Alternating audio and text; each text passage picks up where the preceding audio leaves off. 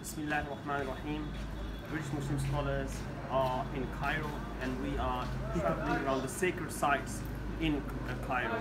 Here we are at the place, final resting place of Sayyidah Ruqayya radiallahu ta'ala anha, who is the sister of Sayyidina Imam Hussein radiallahu ta'ala anhu, the daughter of Imam Ali karamallahu wajh, and also the granddaughter of Rasulullah sallallahu alayhi wa sallam.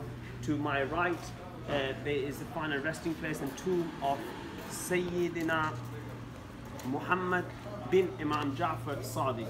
So Imam Ja'far Sadiq is the grandson of Sayyidina Imam Hussein radiallahu ta'ala and, and so he is the great grandson of Sayyidina Imam Hussein who's himself the grandson of the Rasulullah sallallahu alayhi wa sallam and then right next to their final resting place is the final resting place and the tomb of the aunt of Rasulullah sallallahu alayhi wa sallam Sayyida Atika radiallahu ta'ala so really blessed place. And in, in Egypt the family and the household of the Prophet ﷺ settled. And we pray to Allah subhanahu wa ta'ala that he accepts our coming here. And may he grant us the love of the family of the Rasulullah sallallahu alayhi wa sallam and also the companions of the Prophet sallallahu alayhi wa sallam.